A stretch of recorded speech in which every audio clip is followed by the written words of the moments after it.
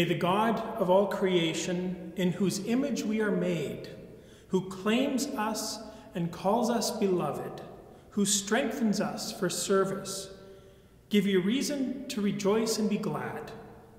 And the blessing of God, sovereign, Savior, and Spirit, be with you today and always. Amen.